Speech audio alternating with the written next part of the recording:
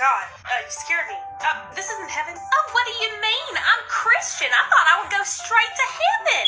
Mm, no, this is where we look at your life and see if you deserve to go to heaven. Oh, well, I'm sure I'm gonna pass with flying colors. I am Christian. Uh, yeah, okay. Um, didn't you kick your 16 year old son out of the house because he was gay? Well, of course, Um, didn't you spit on that homeless person because he asked for some money? Well, maybe if he believed in God, he wouldn't be poor. Uh huh. I have it here that you yelled at a little girl because she had a hijab on. Well, yes, there's no other religion allowed except Christianity. Is it true that you think that Jesus is white?